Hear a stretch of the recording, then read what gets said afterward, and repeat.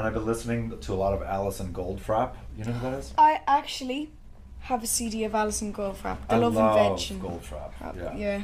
Yeah, because I like to, I like to dance around the, the dressing room before we go on, because I want it to just be like, I want to feel like, uh, I want to feel like, oh yeah, let's go do this. Let's do it. so you may not know this, but we're all sort of dancing around backstage. So we've been listening to a lot of Al- Alison Goldfrapp lately. That's wow, and especially with like when you said, "Do you know Alison Goldfrapp?" I went, "Yes, I do." that was like, that's when I go oh, Usher fanboy mode in my head, and I'm like, yes.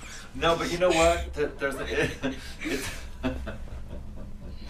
it's so good to be to fanboy out because what does that really mean? It just means there's something that you really like and that I like, and we both go,